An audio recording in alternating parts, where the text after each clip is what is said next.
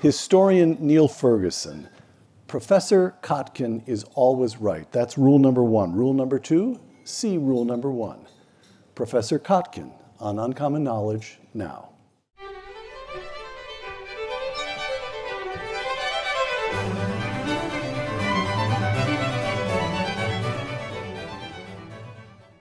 Welcome to Uncommon Knowledge. I'm Peter Robinson. A fellow here at the Hoover Institution, Stephen Kotkin is the author of nine big works of history, including the first two volumes of his biography of Joseph Stalin, Paradoxes of Power, 1878 to 1928, and Waiting for Hitler, 1929 to 1941. Professor Kotkin is now completing, you are, aren't you? Is now completing the third and final volume, Stalin, Totalitarian Superpower.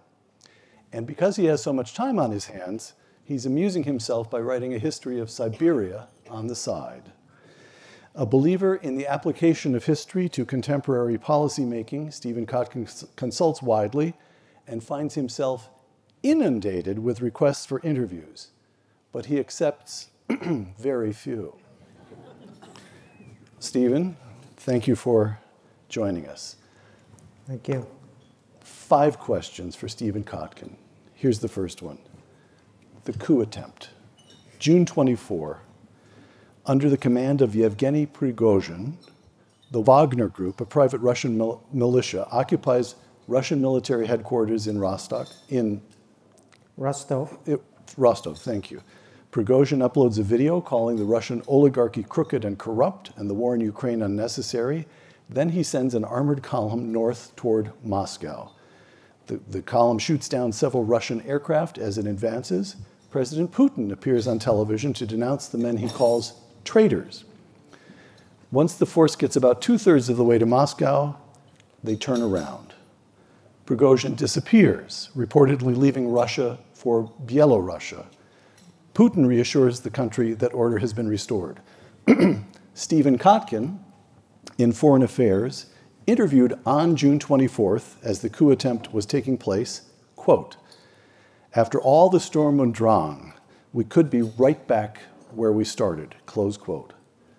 Stephen, what happened? And are we right back where we started? So Prigozhin had a catering business it was pretty successful because he got Kremlin contracts and then military contracts. And like many government contracts, they were no bid contracts, meaning he didn't have to be better than the other caterers.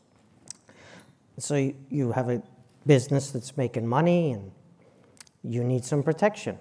So he establishes a little bit of protection for himself and his businesses. That turns out to be an even bigger business that's a mercenary army. And turns out that there's minerals in Africa. Who knew? And so he gets into that business as well. And so pretty soon he's a multi billion dollar business. And in the beginning of June, the uh, defense minister announces that these businesses will now report to the defense ministry. So let's imagine that, I don't know, you build Microsoft or you build Apple or you build whatever. It's built a little differently here than over in Russia, but imagine. And all of a sudden, the Secretary of Defense announces, well, it's a great business. I own that business now, and we don't need you anymore. So he decides he's not going to give up his businesses. He's going to march on uh, first the military headquarters for the war in Ukraine, which is in the south of Russia, and then he's going to march on Moscow. And he's got armed fighters with heavy weapons, and Moscow is defended by riot police. Riot police are fine if you're just beating up demonstrators with no weapons. They can get that job done. But against people with heavy weapons who are battle hardened, it's a different proposition. So Prigozhin starts marching, not himself. He stays in the headquarters in a bunker and he sends his men, about 8,000. And they're closing in on the capital. Putin went nose to nose with the pretender, and Putin blinked. Kind of. so um, Prigozhin is not going to give up his businesses just like that. He didn't gain them. Hold on. Without You're working hard. This was purely about money. No, it's never purely about money in Russia. Money and power is the same variable in Russia. But so you get money by being in power. Hank Paulson was at Goldman, made his 500 million, and then he became Treasury Secretary. It's not the way you do it in Russia. First, you become Treasury Secretary, and then you make your 500 million. So you need to have connections to power. And by the way, uh, he pays off everybody. So the people who are supposed to stop him from taking Moscow, they're on his payroll. It's the, this is Russia, and so what we see is uh, people don't rally around Putin and his regime while this group is marching. The military doesn't come out and make statements. They don't send troops. Um, there's no rallying of the political forces around Putin with statements. Everyone's playing a waiting game. Maybe this guy could be successful, maybe not. So you have three pieces to the regime that are important to know.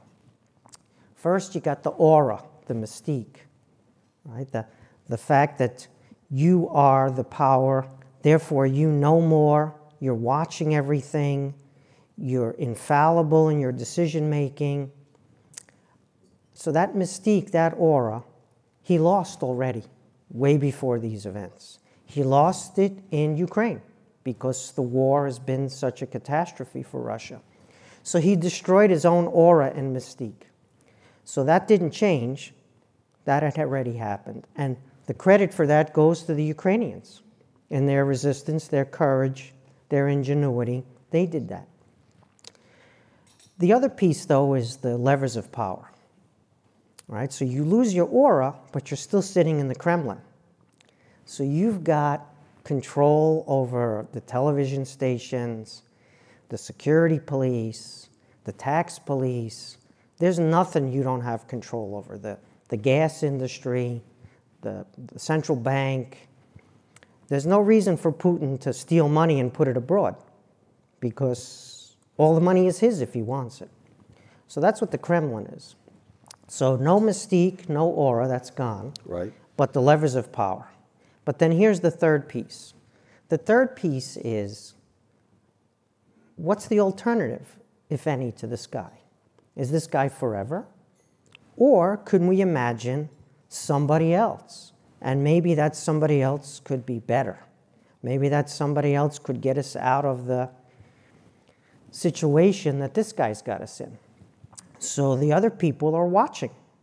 Is Prigozhin that somebody else? Especially because they're on his payroll.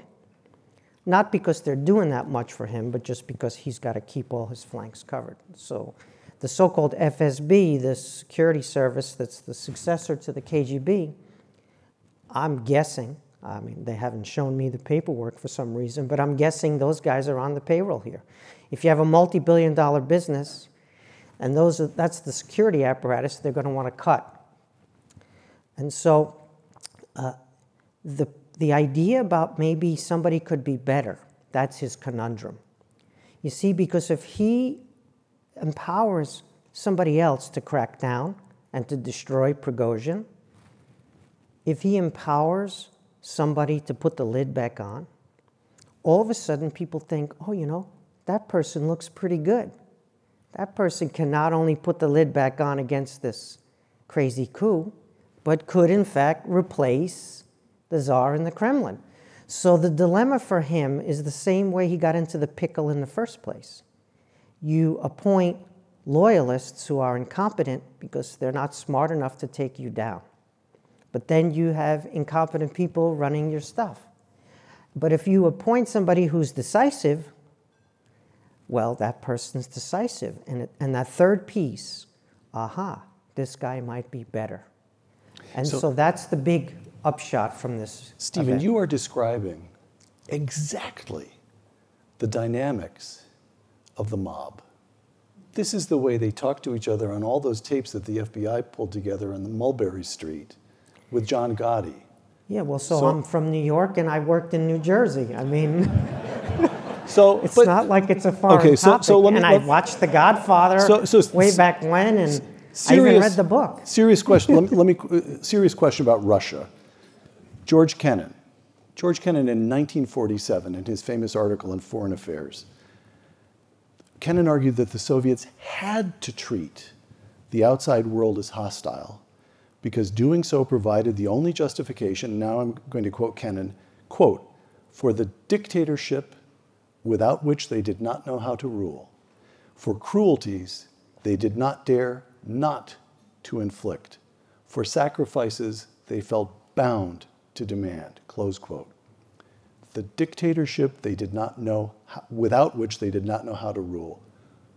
Ivan the Terrible, Peter the Great, your boy Joseph Stalin, Vladimir Putin. This has been going on for centuries. Imperial Japan gives way to a liberal democracy. Nazi Germany gives way to a stable liberal democracy. Russia is the Russia of a thousand years. Why? What is it about? A serious question. What is it about Russia? So here's that other piece, that third piece, the alternative piece. Because for us, the alternative to uh, authoritarian regime is what happened in Japan or what happened in West Germany. It is the possibility of democracy or rule of law or constitutional order, however you want to describe it. But in the Russian case, the alternative to the power in the Kremlin is chaos, collapse, apocalypse. And so Putin is a calamity. He's a disaster. But the alternative to him is potentially, in the minds of the, the people around him, dissolution, loss of the Russian state. And so, as bad as he is, right, and he is calamitous across the board, the alternative in their mind could be much worse. And so they're kind of stuck in this inability to get to an alternative that's viable that doesn't equal collapse or chaos. So think, there are six possible futures to Russia, and there have been for a really long time. Maybe, at least this is my view. Mm-hmm. The first one is France. You have absolutist monarchy, big bureaucracy. You have a revolutionary tradition, really messy, bloody and messy. You're threatening your neighbors, right? Napoleon. You blink your eye, it takes a while, and then you've overcome your absolutist tradition. You still have a big bureaucracy because you're descended from an absolutist tradition, but you're not an absolutist monarchy anymore. Your revolutionary tradition has settled down, and you're not threatening your neighbors anymore. And so, France. Now, we can argue that there are imperfections in France, and some of us may not see France as a model. We're just talking about Russia and France. And so, what we've got in Russia, if it got to France, that would be a major achievement. So, that's been the story for a long time. Can they get to France? Now, you can look at where they are now, and you can see where France is now, and you can see that the distance to travel there is not that slight. But anyway, that's the good outcome. That solves not only the war in Ukraine, but it solves the Russia problem as well. Because they can be who they are, just like the French, but they don't threaten their neighbors anymore. Right. Okay, so France. The second option is authoritarian leader, but don't threaten your neighbors. In other words, solve the Ukraine problem, but not the Russia problem. Mm. You're still stuck with some type of authoritarianism, which is difficult to overcome, but you recognize that trying to take over your neighbors is a losing game for Russia, not just for the neighbors. So, authoritarianism that's no longer a threat to the neighbors. The distance to that is much shorter. Right. And that's actually the potential solution to the Ukraine situation over a longer period of time. That would be winning the peace, not just the war. All right. Your third one, uh, which is relatively new, is Chinese puppet regime. This sounds absurd. How could we get a Chinese puppet regime in Russia? Right? Stalin was the big brother, Mao was the little brother, etc. But the Chinese interest in Russia, as we've seen now over the past couple of decades, is very much a partner to be anti Western to protect China against the existence of the West. Doesn't matter what the West does, whether it promotes democracy or doesn't promote democracy, it exists. Mm. It exists as a successful alternative that has resonance around the world, including in China. And so allowing Russia to fall into that orbit is something that seems unlikely the Chinese would permit. And so if their guy gets in trouble, it's possible that they might want another guy who's not in trouble and loyal to them. So, for example, Nikolai Patrushev, who is probably the most China person inside the Russian regime. I think this would be a catastrophic outcome for Russia, as well as for many other reasons. And you can judge how far away we potentially are from that outcome. Let's go to number four. Number four is your, the biggest North Korea you've ever seen. Mm. You've got an isolated place that is not part of the international system and is therefore incentivized only for mischief. And it's mischief across the board. And the Chinese are okay with this up to a point because it's not quite the puppet regime, but it's not that far from the puppet regime. The problem is like the Kim dynasty in North Korea. They get away with things, even though they're completely dependent on China, because China can't give up the North Korean regime, because then it gets a US, a pro-US South Korea, right. all the way up to the Chinese border, and we win the Korean War. And so they they tolerate the misbehavior of their client in North Korea. And we have something similar to this dynamic in the Russian case now. We have increasing isolation from the world economy, nowhere near as close as North Korea's, but much closer to North Korea's than we were a year and a half ago. Right. And we have a person in Moscow who gives the Chinese grief he um, ruins their relations with Europe. In other words, the Europeans don't like the Chinese support of the Russian war in Ukraine. And Xi Jinping announces that he, through his great diplomacy, has gotten Russia to promise not to use nuclear weapons. And the Chinese run this up the flagpole. And four days later, the Russians announce that they're putting tactical nuclear weapons in Belarus. Right. So there's your incipient North Korean situation potentially. This is the path we're currently on now. It's not a good path because if you have capabilities and you're incentivized to just do mischief, if you're spoliation as far as the eye can see, and then this comes to the fifth one, which is their fear. And that's the anarchy, the collapse, right? The Tsarist Empire collapsed, came back as the Soviet Union. The Soviet Union collapsed. It didn't come back as anything, really. And so, could Russia potentially collapse? It can't be excluded. It's not structured the same way as the Soviet Union. The Soviet Union was a chocolate bar. If you know your chocolate bars, they have these creases right. in them already. And one crease was Ukraine, and another crease was Estonia, and another crease was Georgia. And so you could just break off the chocolate bar at the creases and you got 15 pieces of chocolate. It was pre structured to dissolve. Russia's not like that. It doesn't have the structure of the Soviet Union, but it's got a volatile North Caucasus where Chechnya and other uh, places have tried to get out of Russia. And so it's, it wouldn't be the same dynamic as the Soviet Union, but it's a potentially troublesome outcome. And then the sixth you always have a sixth because that's the one which is you have no idea. It's something that might happen that you You don't foresee, you don't predict. That's why you don't make any money in the markets. That sixth one, which is also a possibility. But if you look at these, there's only really two that are solutions for the Ukraine living as a neighbor alongside Russia in peace and not just Ukraine. France and?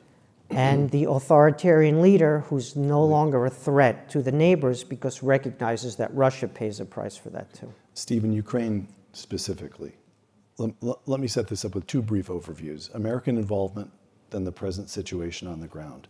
American involvement. Russia invades Ukraine on February 24th, 2022.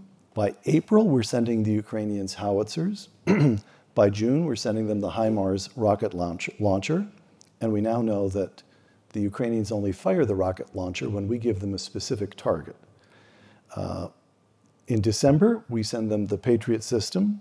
Early this year, we begin sending them armored vehicles, and, and then we promise them the Abrams tank. And just last week, President Biden announced that he's going to begin sending them cluster bombs. Forbes, quote, America's military role in Ukraine reflects a pattern of gradual escalation, close quote. Situation on the ground.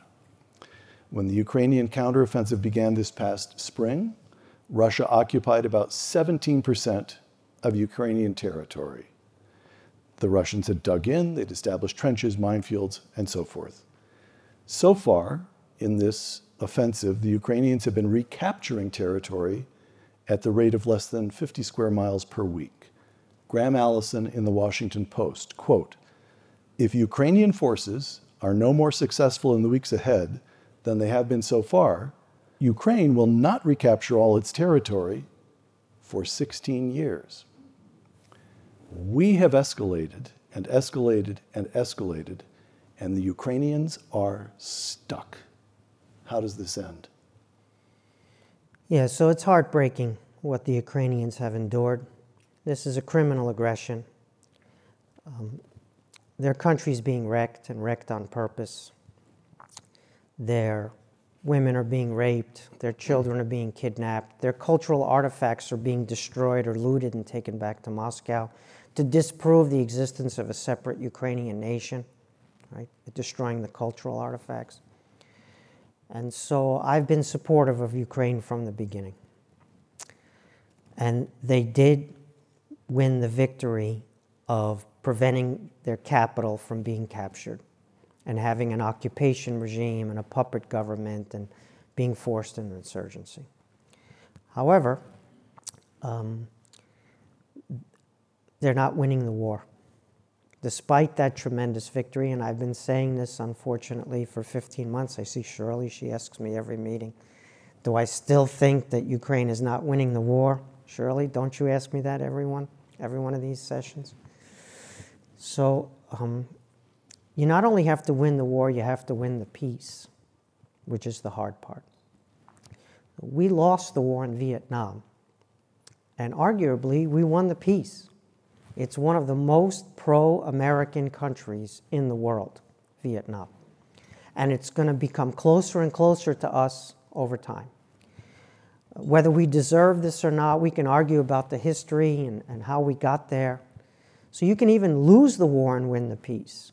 But you can, of course, win the war and lose the peace. And so the question then becomes how do you define victory? What does winning the peace look like for Ukraine? And the territorial definition is something I've never held to, uh, and, and it's loosening now, finally.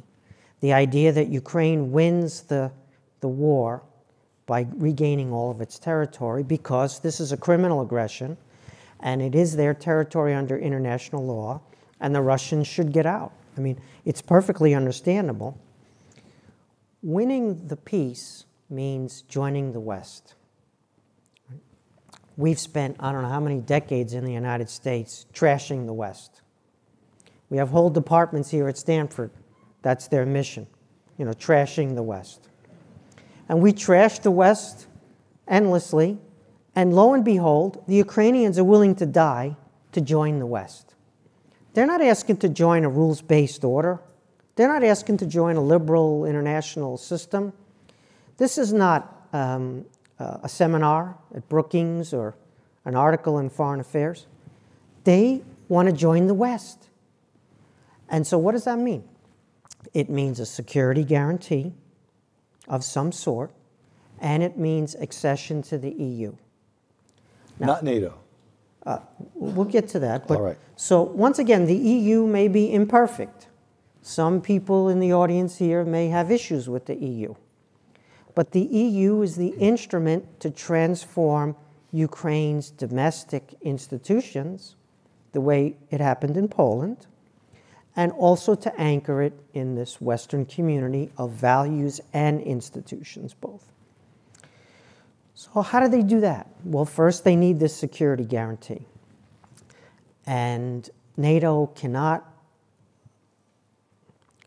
uh, it cannot bring a country into the alliance while that country is at war.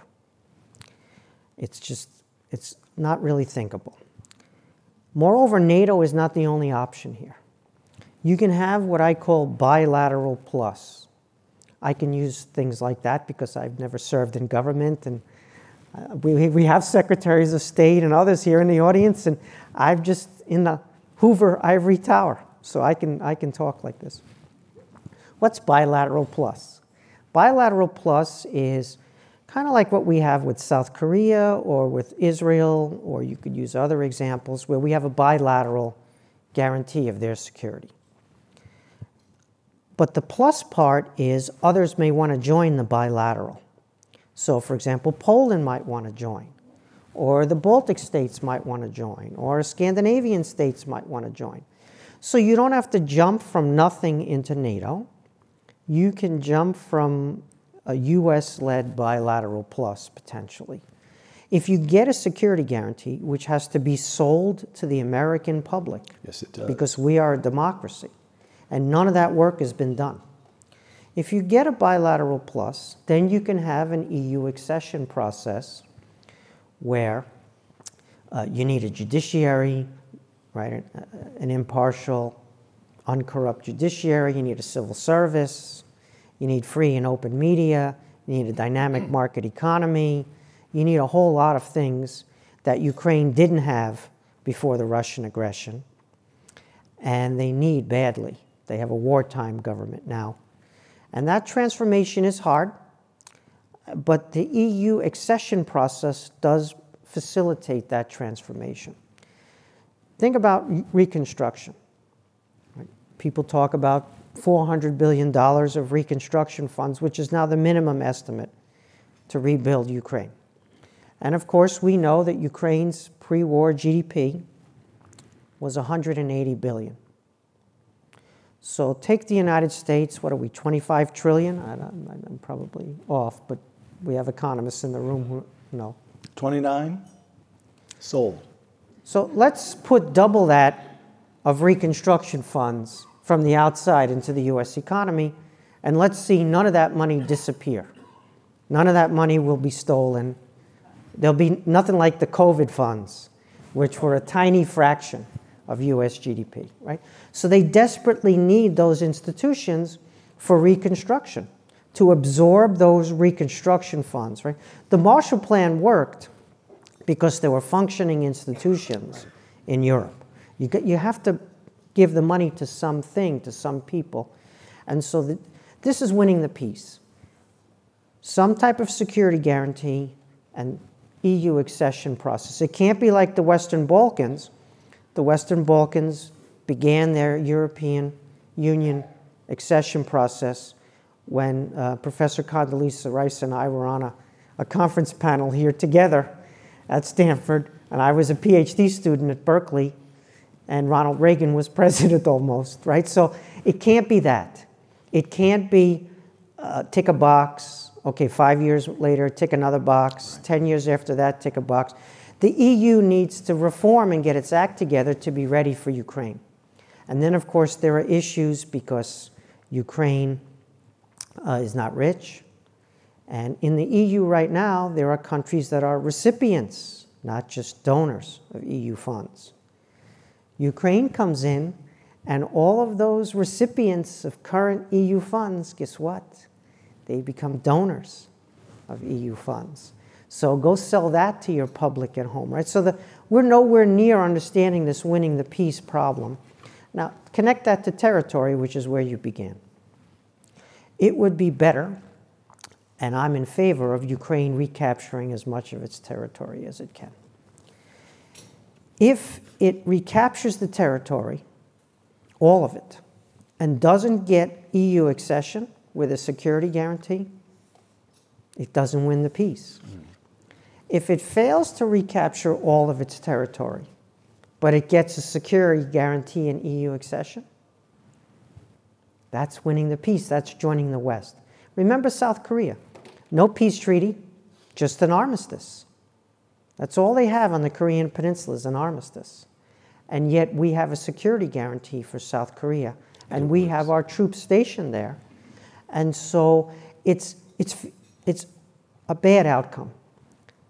The South the Korean Peninsula is volatile. The North Korean regime is a troublemaker, as we, as we know, and the families were separated. It's, it's, it's an imperfect outcome. Still, if Ukraine got on a trajectory like South Korea, South Korea is one of the most successful societies in the world. So, and so there you are. But, but we're, we're far from that right so now. Stephen, that is not just plausible, that's a way. It makes sense. It's something that could be acted upon. But it feels to me as though it would be of the scale of Harry Truman in the 1950s with the Marshall Plan, the creation, in other words, an enormous amount would, re, would, in, would rest on whether this country was capable of an act of diplomatic and sustained diplomatic and political creativity. Is that correct? We are. We are capable. Look around the world. We have all sorts of friends and allies and partnerships. You want to enumerate them? We don't have enough time in the show.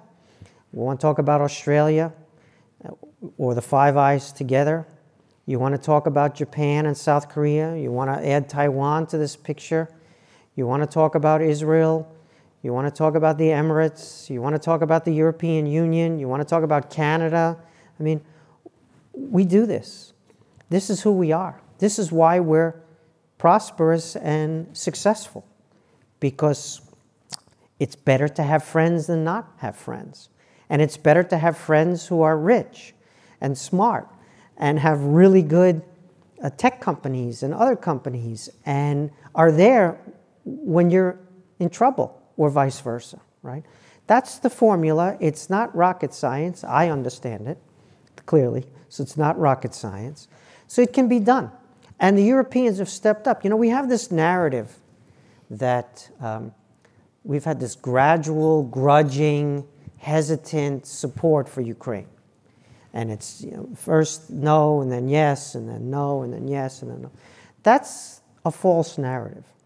We have supported, and as the Europeans have, including pacifist Germany, and I could go on, as our friends in East Asia have, have supported Ukraine to the hilt.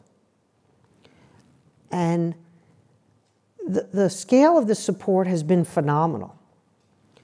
Yes, do we know more now than we knew at the beginning?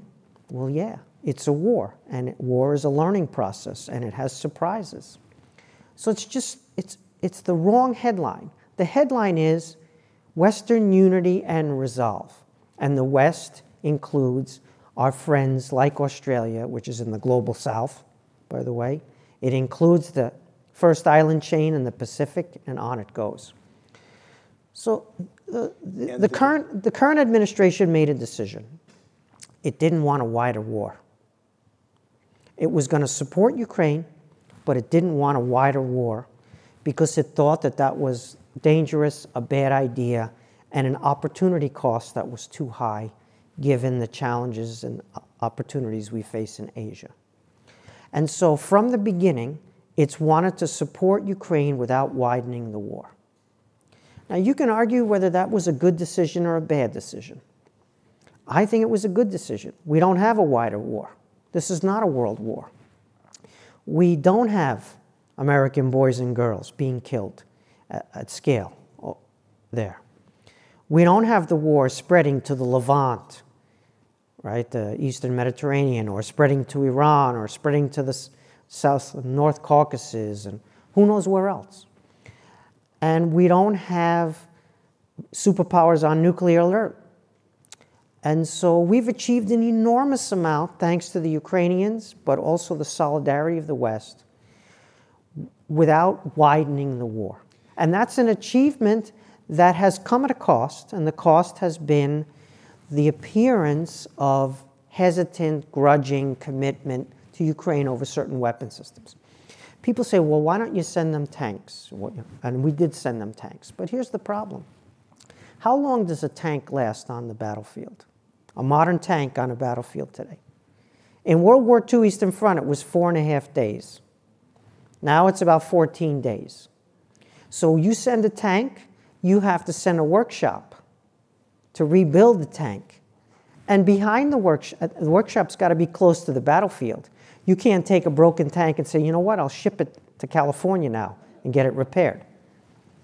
So, you, can we send workshops to Ukraine to repair the Abrams or the other fantastic uh, um, armored vehicles we have? And then behind that, you need assembly lines because you send tanks and they last 14 days, and some of them can be repaired and some of them can't be repaired. And so you need new tanks. And you need a lot of tanks if you're going to have tank warfare. And so you need to send an assembly line, as it were, not just the, the mechanical shops. And so commitments like that are not just about weapons, they're much deeper. They're about supply chain. They're about military industrial complex. And so when people clamor for things to be sent to Ukraine, they're not factoring in these other dimensions. Which, and in any case, war is mostly about munitions. And as we discussed nine months ago, we were going to run out of munitions. Stephen, the defense of Taiwan runs through Ukraine? So we had a debate about the pivot to Asia.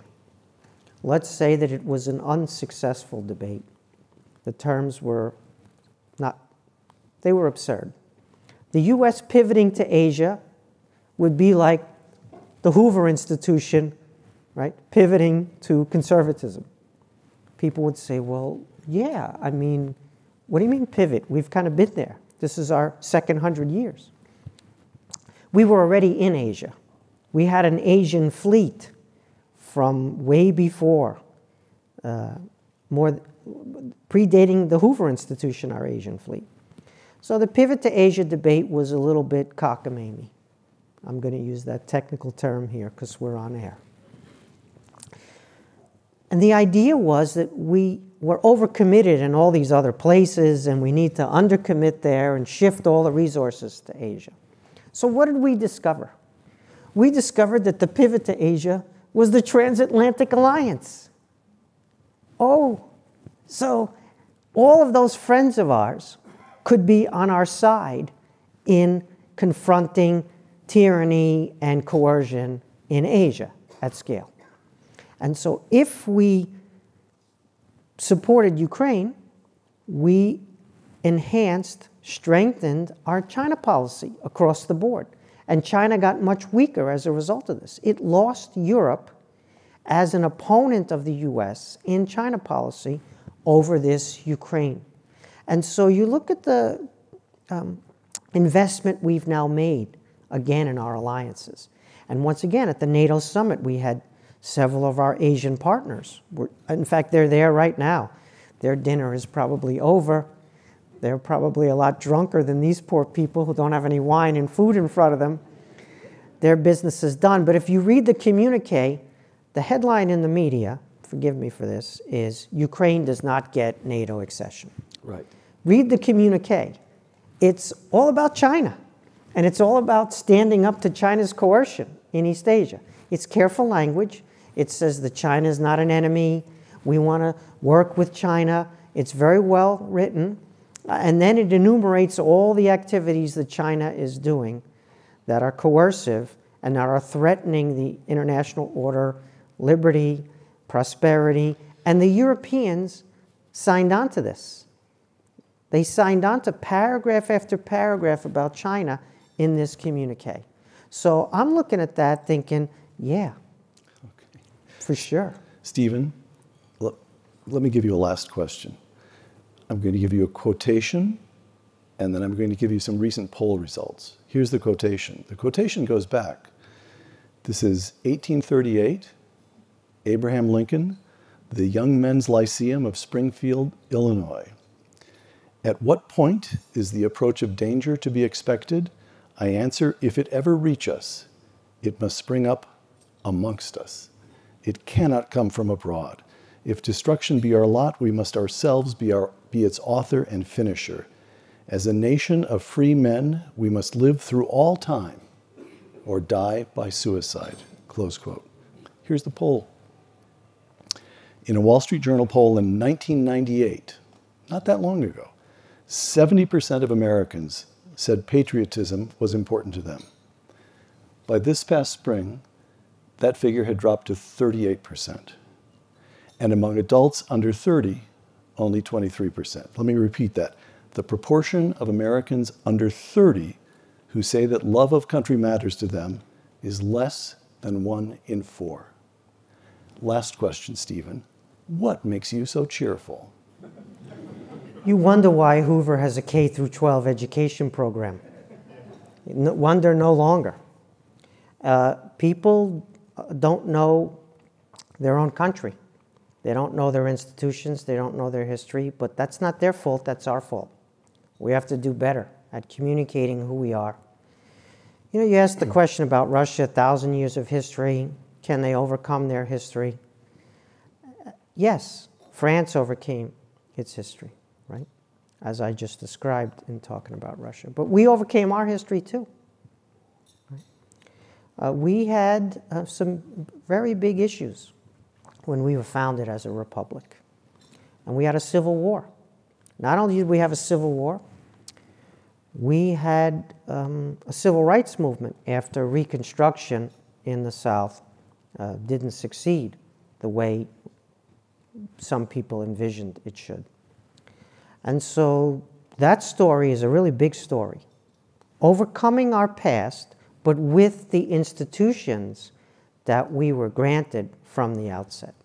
Right? This category citizenship is a miracle. It's exclusionary in the 18th century civic revolution. There are a lot of people who are not citizens. In fact, they're not even considered people. It's terrible. But over time, that category citizenship can expand, and people who were not included in it can be included in it. So, is the exclusion the story? Which is terrible and long lasting and affects a lot of people. Or is the brilliance of the category citizenship and its capaciousness over time the story? And I would argue they're both the story, but one triumphs over the other. It's not a 100% triumph. It's not a triumph where you're done, because this is something that's ongoing. And the strength of our system is we can denounce it. That's just incredible.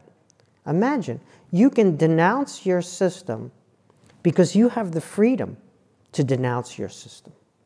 That's what your system gives you. So you can have an industry that's West bashing. I used to teach Plato to NATO back when I was, um, um, how to say this uh, uh, politely. I was on loan to a different institution for 33 years, and I taught the Plato to NATO course and it had, we capped it at 325 students, which was a significant portion of the entering freshman class. And I did it year after year. And it wasn't a requirement. And they showed up because we offered Western civilization and the professor knew how to pan, I mean, the professor knew how to lecture. And so it can be done. We've done it before. There have been highs and lows. And some of those lows we've lived through. Uh, you quoted that poll from 1998, but I remember the 70s. Mm. And certainly that was not a high point in American civilization or patriotism. But so it is in there. And it's on us to recuperate it and to broadcast it and to engage people with it, including engaging them in it when they disagree with it. Once again, that's the great strength of our system. And so it, you can't be anything other than optimistic with that. Okay, we have a certain media environment right now. And the media business model is destruction. It's scandal, it's destruction, it's tear down. That's how they make their money. We're a free and open society, and we have to live with that problem. That's a problem we can't wish away because the solution to that problem provided by authoritarian regimes is not a solution, it's worse. And so we did this with radio, we did this with television, now we have to do it with social media. It's hard, but it can be done.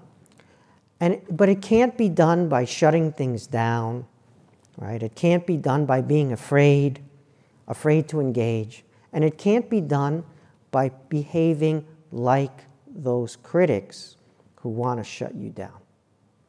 Right? You can't win as an American with the strength of our institutions by doing things that are not consonant with American values and institutions. You can't behave like the people trying to destroy you because then you become like those people trying to destroy you. So it's a delicate balance to figure out. And we hear many inspiring uh, concrete proposals here at Hoover about how we can go about this. We have our Center for the Revitalization of American Institutions, right, which is uh, off the ground, and it's going to be a monster in terms of its influence. And then, and then we have 100 million plus people who are eligible to be president of the United States. 100 plus million people in our country are eligible to be president. And then we have those two leading candidates who we have. so, yeah, I'm very optimistic. Stephen, okay. Three sentences for one of the 75% of Americans 30 or under who says he's not a patriot? Uh, it's okay to say you're not a patriot. Our patriotism allows for that. But I want to tell you something about why I'm a patriot. That's the conversation to have with them. Right? The conversation is not to belittle them, not to dismiss their views and feelings, not to say you're young and you're a fool. It's to say, well, this is why I'm a patriot. This is the history that we have in this country. These are the institutions that we have. This is the opportunity that we have. And this is why you can have a successful life and you can do things that other people elsewhere who are less fortunate can barely dream of, let alone achieve.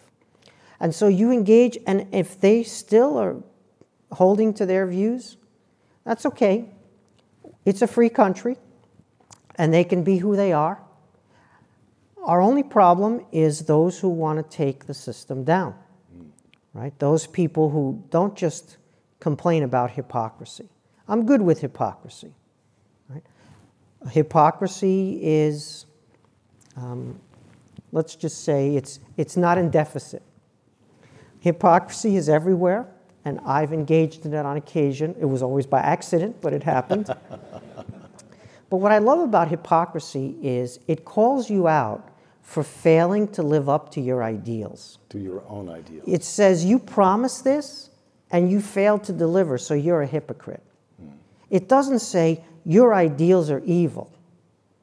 It said it says you failed. You made promises and you didn't redeem them. So I'll take all the hypocrisy they can throw. I just don't want them to destroy the ideals as evil. And when they talk to me about uh, well, you know, we get rid of capitalism, that'll solve a lot of problems. I say, why don't we have a little discussion about Stalin's Soviet Union and how that worked out, or Mao's China, or Khmer Rouge in Cambodia, if you prefer a smaller scale version of genocide.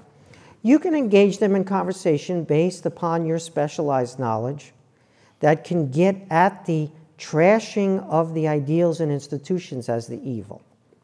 But as long as you're talking about hypocrisy, you're good, right? I mean, I, don't want to bring Ronald Reagan into the question. Well, why not? Why can't? Why not bring Ronald Reagan in, right? So, uh, he, on occasion, would tell a joke or two. Uh, you saw this firsthand. So this uh, this guy goes up and parks the car next to Congress, and um, the policeman says, "I'm sorry, sir, you can't park here." The politicians work inside. And the guy says, Oh, it's okay, I locked the door. right? That's us. That's who we are. So, yeah, we have crime, it turns out. Who knew? Stephen We're Kotkin. hypocrites. Stephen Kotkin, thank you.